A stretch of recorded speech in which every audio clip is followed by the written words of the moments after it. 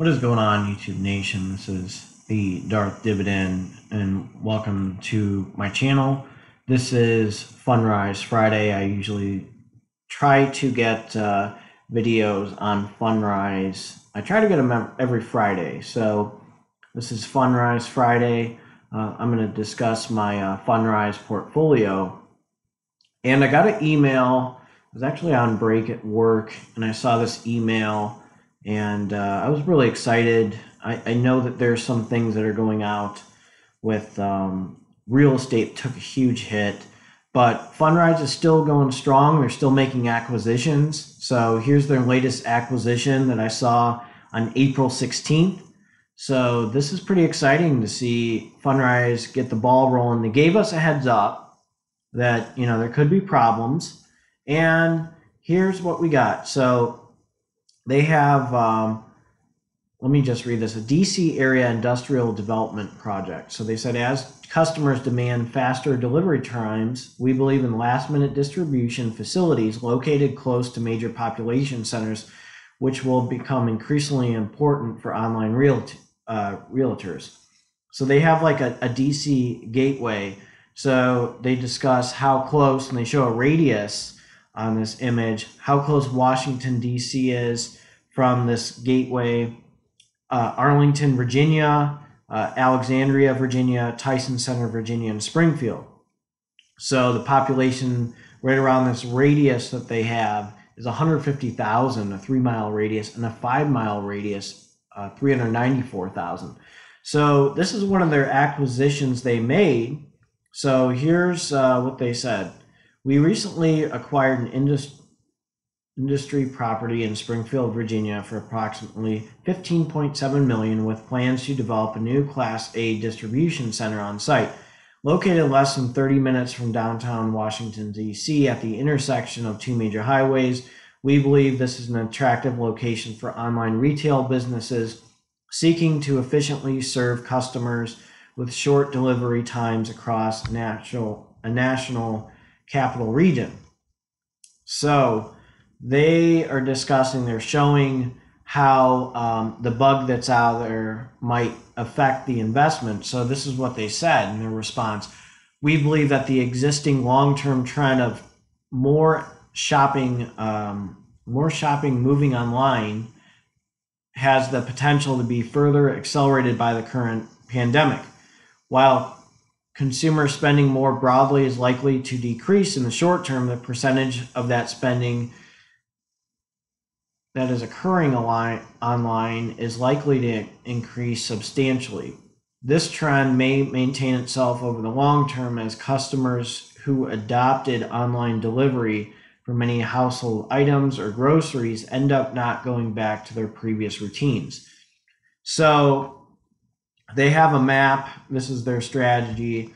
They showed how department stores are going down, and they show the e commerce sales, how they're going up versus department stores going down. So I'm kind of noticing that with store capital. Uh, and I really need to look into this real estate investment trust to see what I need to do with it because I know the market took a hit, but this is somewhat relevant to what we're seeing. So they said, uh, despite social distancing requirements, we expect to be able to make steadily progress in the project over several months. As most of the initial work, it says architecture permitting can be done remotely. Once we, uh, once they're ready to begin construction, we may find that we're were to actually decrease our budget as construction costs have historically come down during a downturn. So this is what they said why they invested in that. So it's a prime location. So uh, that's on a beltway and the I 395, two primary local ro- road uh, arteries. Basically, they called it a mixing bowl from the site. Uh, they have delivery vehicles which would be able to reach most DC metro area uh, within a one hour drive. There's a, a growing e commerce demand. They show the statistics and a strong, stable local economy. So, what is this going to be? This is part of the E Coast E rate. So this is equity. So If we go to the e-commerce eREIT, the projected return is 6.6 to 11.3%. Again, there's no promises. So let's go to my account. Overview.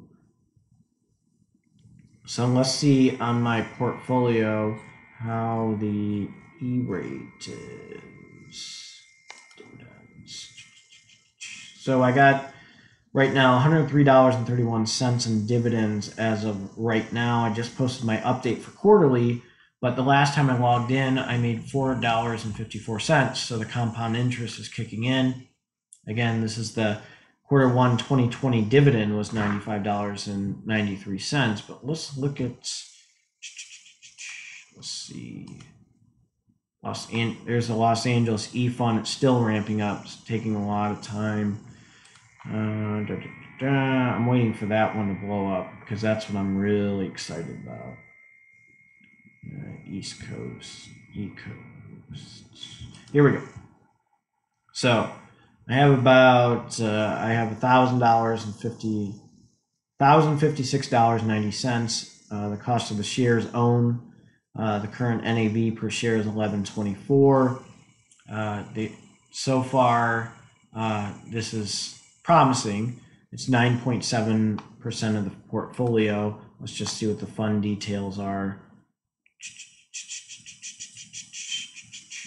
So I know I'm in the advanced one. So they're just showing me some 15 active projects, apartment renovation, stabilized apartments, new commercial development, Springfield, like I said, stabilized commercial, stabilized apartments, Atlanta, Royal Palm Beach, Orlando, Florida. So these are looking pretty good. So the East Coast, East Coast eREIT, uh, it's a balanced approach acquiring both debt and equity investments in commercial real estate assets located specifically in the East Coast region and intends to target the investments with fixed rates of return that maximize current income and equity investments with significant potential value creation. In particular, the eCoast eREIT intends to capitalize on opportunistic pricing inefficiencies in the East Coast multifamily market through acquiring value add and lease up properties. So da da da da da, providing senior debt. Da da da da da. Um, here's their historical performance of their $10,000 investment uh, starting in January 2017 so if I put in ten thousand dollars, this is how much it's growing. Uh, they discuss their dividends on a on a ten thousand dollar investment. So right around two hundred or so. Um, historical net returns. This is how I'm doing. Do, do, do, So again, I'm in the balanced portfolio. So this is, you know, it's nice to see them still getting things going, even with my uh, portfolio taking a little bit of a hit. So Fundrise, well, not really my portfolio, but my real estate portfolio overall with my public and private REITs. So things are looking pretty promising. I mean, they're just the thing I like about Fundrise is they always give updates on what they buy. I, that's what I really like about these as a um, company. So April 3rd, they gave an announcement uh, about the fortress if you look at my previous video. So, you know, the projects are still doing well. Uh, it's just going to take time and one day at a time. Again, this is what I'm really looking forward to these E funds and seeing these uh, get going.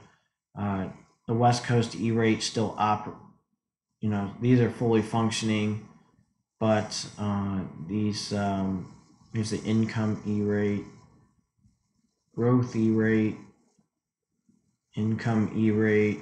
So these are slowly going up.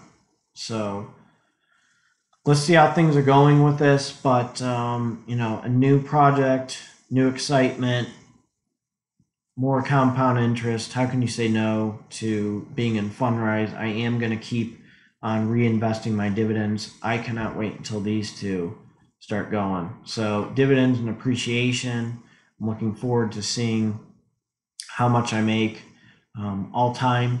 You know, it's uh, so far I've made one thousand three hundred eighty-three dollars and sixty-two cents.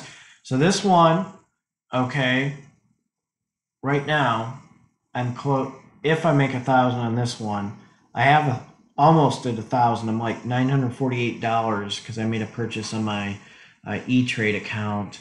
So I have almost two thousand dollars of passive income plus. Let's just calculate rich uncles. How much? Let's just say thirty. Let's just say I'm making thirty-five times twelve. So that's four hundred twenty dollars. Kind of ironic because it's almost four twenty, but um, so let's just say you know I'm right around that mark. Now this is money that I put in, didn't put it in the bank, so I'm making four hundred twenty dollars a year. Go figure. You know what's funny? There's a a nurse I worked with. She's fifty years old. She goes, "Hey, I, I got an honest question for you." I go, "What?" She goes, "What does four twenty mean?" I looked at her like, "What? You don't know about that? You never heard about that?" But I thought that was kind of funny.